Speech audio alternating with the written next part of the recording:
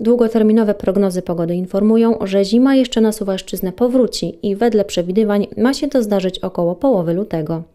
Wśród zapowiadanych zjawisk pogodowych wskazuje się na spadki temperatury, choć nie tak silne jak ostatnio, ale o wiele większym problemem, o ile się prognozy sprawdzą, mogą być opady śniegu. Ostatni atak zimowej aury mocno zdenerwował mieszkańców miasta.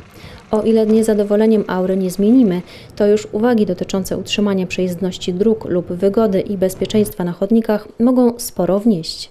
Wiedzą o tym radni i podczas minionej sesji dali temu wyraz. Ja już zostawiam ulicę, ale y, są takie miejsca naprawdę kluczowe, y, które, które muszą być dostępne. I tak na przykład było z dojazdem, co widziałem no, wielokrotnie na własne oczy, ludzie się skarżyli, czy z dojściem, bo to nawet nie chodzi o, o ulicę z dojściem na dworzec y, kolejowy, gdzie w zasadzie to z żadnej strony nie było odśnieżane i dojście ludzi, którzy idą piechotą na dworzec było było, no, było czymś koszmarnym, bo to trzeba iść dookoła, ciągnąć walizkę i tak dalej, i tak dalej. Jeżeli ktoś to robi, jest to sytuacja no, no niedopuszczalna, żeby właśnie miejsca użyteczności publicznej, tam gdzie ten dojazd jest newralgiczny, gdzie jest niezwykle istotny, żeby dojście tam było e, utrudnione.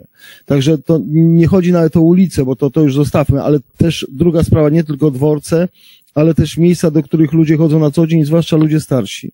Odśnieżenie chodników pozostawało bardzo wiele do życzenia, jeżeli w ogóle było, jeżeli w ogóle to, to było możliwe. Tam, gdzie ludzie chodzą, nie wiem, o kulach, tam, gdzie chodzą ludzie starsi, w samym centrum, przy głównych ulicach y, Suwałk, przejście przez te kilka dni dla ludzi, którzy ja już, ja, bo ja nie mówię o ludziach sprawnych, ale dla ludzi, dla ludzi, którzy mają problem z chodzeniem było rzeczą, było rzeczą naprawdę niezwykle, naprawdę niezwykle trudną.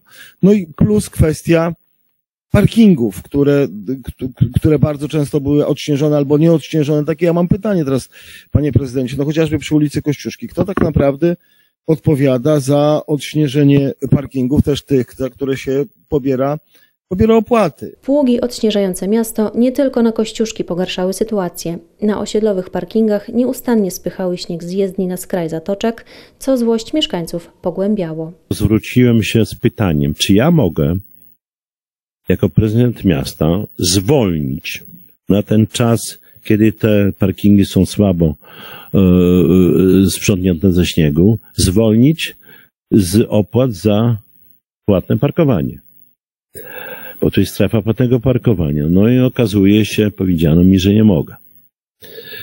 No i rzeczywiście chyba nie mogę, bo Rada Miejska przyjęła uchwałę i w tym zakresie no jest, jednoznaczny. Trzeba pobierać i koniec. E, no a chciałem e, w cudzysłowie zrobić dobrze mieszkańcom.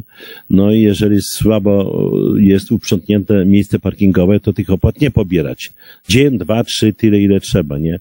Być może udałoby się kiedyś wprowadzić taki zapis przy nowelizacji, żeby pamiętać o tych ich sprawach i żeby była taka możliwość, taka furtka po prostu. Prezydent miasta dostrzegł również problem azyli położonych pośrodku dróg, które również zawalane były notorycznie masą śniegu odgarnianego przez pługi, ale też problem na takich uliczkach jak Patli czy Minkiewicza, gdzie w ciągu dnia pługi mają problem z wjazdem z uwagi na parkujące tam auta. Tutaj problem być może rozwiąże w przyszłości nocne odśnieżanie, gdy samochodów jest mniej.